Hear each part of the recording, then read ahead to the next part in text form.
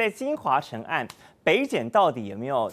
泄露特定的消息给特定的媒体，然后好来媒体舆论带风向办案呢？好，北检当然自清嘛，说没有，但是自己说没有也没有用，他们决定了要分案来调查。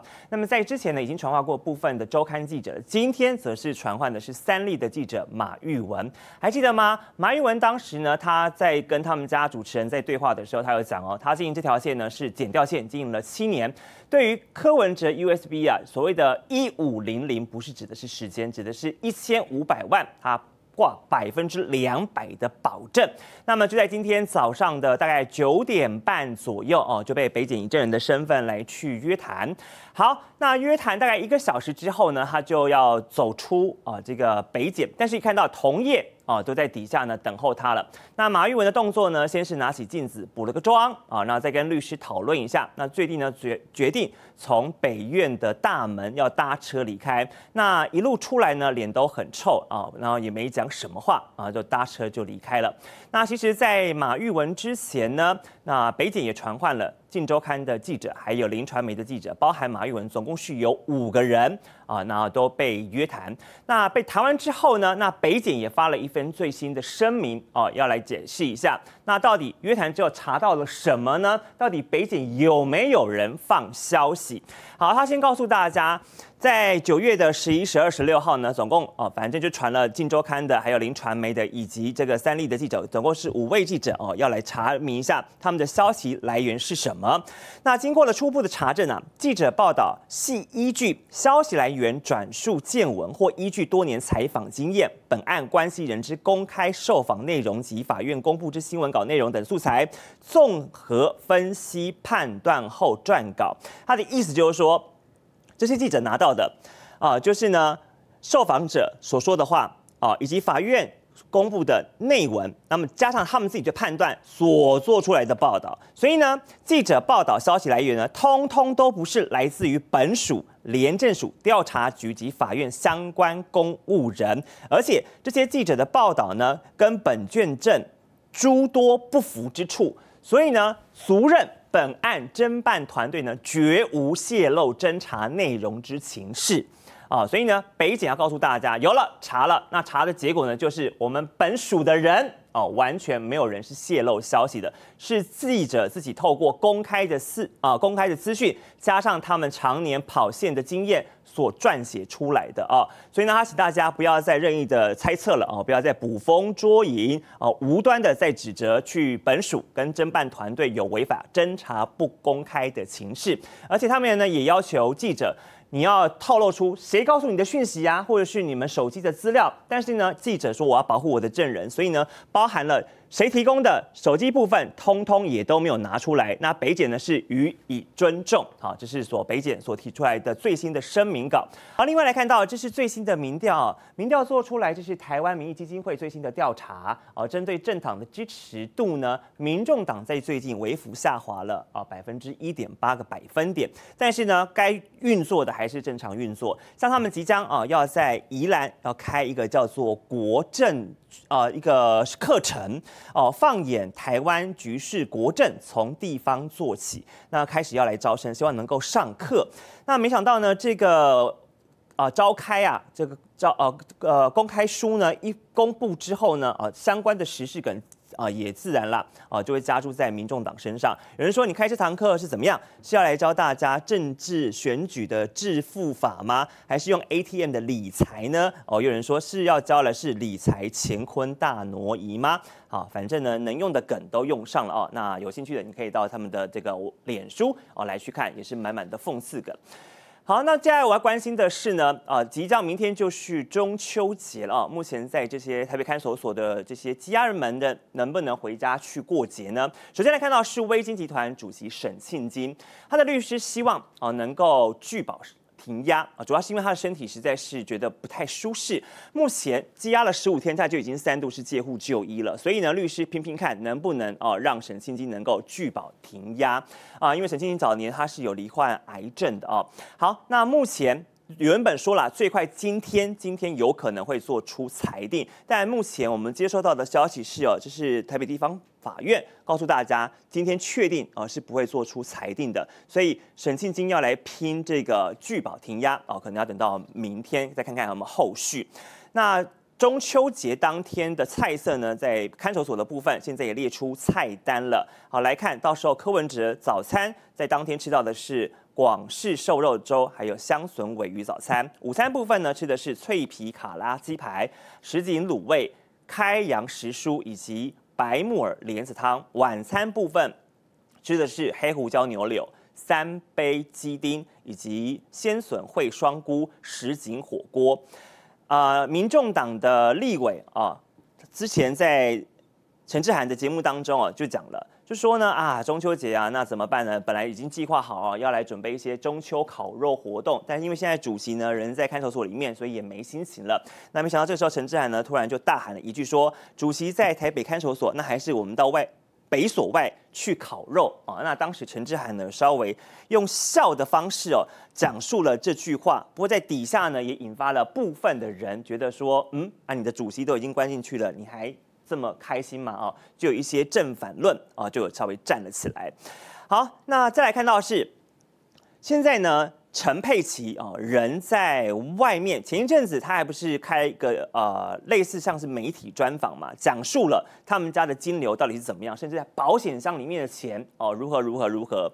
那现在时事评论员黄阳明就认为啊，检方现在让陈佩琪在外面，他怀疑他的检方的做法是不是好啊？反正你丈夫现在在里面嘛，那现在我们就查不清你丈夫的金流是如何。那柯文哲也讲过嘛，说钱呢都是他太太在管的，所以是不是故意放陈佩琪出来？那你出来之后，你也知道目前相关的事件会怎么走，所以你可能会联络哪一些人哦，以及哪一些银行的交流，你的这个金流是不是就可能有脉络？哦，让后面的北检哦来去补呢？啊，这是黄阳明他的认为啦，所以说不排除检方可以把陈佩琪留在外面啊，然后呢去看一下陈佩琪是如何去理财的，平常跟谁联络，然后从他的路线当中，然后去找有没有可能有一些蛛丝马迹在。但他的意思是说，万万没想到，结果陈佩琪呢直接开一个记者会哦，那。用北检没想过的方式呢，直接公布了他们家的一些金流哦，让他们吓了一大跳。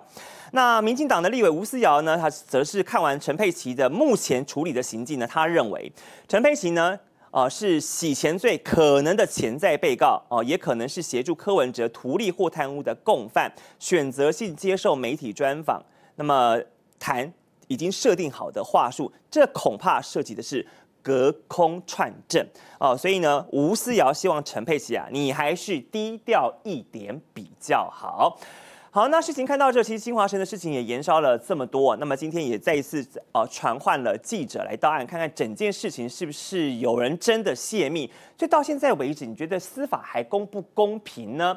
好，这一点您怎么看？我们欢迎你在聊天室中写下来。而时事评论员也是前立委呢。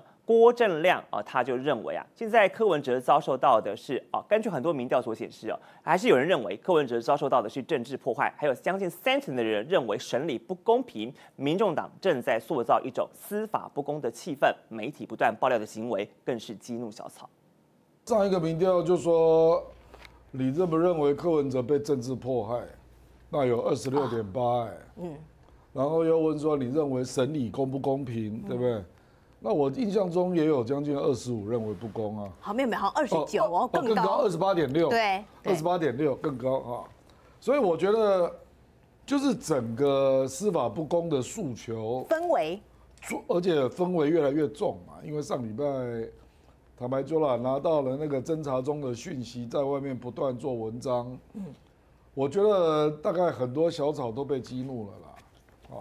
所以我觉得，而且柯文哲到目前为止，你也没有查到真正的一枪毙命的金流啊。我觉得北检现在也是已经转向在巩固图利决策的市政，对金流也看不出有什么办法啊。因为坦白说了，如果真的如有一些人所讲说 USB 里面有冷钱包哈，嗯嗯，那那个加密货币专家不是已经进去一个礼拜了吗？怎么到现在都解不开？嗯，那这个人好像专家不够这样。据我了解，这个人是蛮专家的啊，所以我是认为大概是没有了。这个也是科比还有民众党未来一定要走的路嘛，就是一审你要为自己辩护啊，说你这样只有两个方向辩护嘛，第一个是这个不构成图利，那第二个就是我没有介入那么深，当然就会让一些小草啦稍微回魂这样啊。我我觉得跑掉了大概就是政治现金乱七八糟那时候，那那个就是广义的对他的治国能力的失望啊，还有你的你的财务长啊总干事怎么会干成这样啊？除非他有进一步的那个金流对价，不然大概就是这样。嗯，他大概就挺在十二这里了。嗯，那这个这个民众党是个好消息。二零二六台南市长蓝绿争锋，虽然是还有一年多的时间，不过上一次虽败犹荣的立委谢龙介十五号上节目时，他表态，如果他真的能够当选台南市长的话，他只会做一届四年。他说明原因，是因为呢看到绿营在台南执政三十年，但是呢每一任的市长虽然都有做满八年，但前四年都没有再建设，而且连任之后呢才想到要做事，但做事的过程当中呢还在望着中央有没有官员职缺，让他决心。努力个拼个四年，可以让台南市民怀念他四十年。而相对于绿营，则是口至一静。陈廷飞、王定宇都很低调，表示说主席呢赖清德有交代要认真做事，台南市长的选举等到了再说。很显然是刻意在冷处理这个议题。台南市过去三十多年来都是民进党执政，而且几乎每一任市长都是干满八年。那前四年呢，都几乎没有建设，都是等到第二任连任以后才想要来做事。但是连任以后呢，又观望中央有没有好的缺。所以，像我们的赖总统亲德兄，前四年他说他都在做规划，未来的四年希望让台南大进步。所以我个人才会说，假如我能够当选市长，我只做四年。我用这四年的日以继夜来换取台南市的不同，四年之后再把选择权交还给台南市民，让他们有选择为台南市进步最优秀的人才的权利。所以，我还讲，你和我做四档，我和你怀念四十档。卡叔，我有机会当选台南市长，我只做四年。